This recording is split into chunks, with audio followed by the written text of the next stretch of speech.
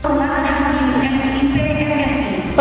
lokasi lapangan olahraga hasil Musrenbang 2018 tingkat Kota Jakarta Utara diserahkan kepada masyarakat. Hal tersebut sesuai dengan dokumen pelaksanaan anggaran atau DPA Suku Dinas atau Sudin Olahraga dan Pemuda Jakarta Utara. Wakil Wali Kota Jakarta Utara Ali Maulana Hakim mengatakan penyerahan berita acara serah terima atau BAS aspirasi masyarakat ini merupakan salah satu komitmen pemerintah kepada warganya. Hasil musyawarah rencana pembangunan atau musrenbang tingkat kota administrasi Jakarta Utara 2018 dan diwujudkan dengan menggunakan anggaran tahun 2019 Sudin Olahraga dan Pemuda. Katanya di Auditorium Olahraga Sunter, Tanjung Priok, Jakarta Utara, Rabu 7 Agustus 2019. Dengan diserahkan ini, Ali berharap sarana dan prasarana olahraga ini dapat menyatukan seluruh lapisan masyarakat.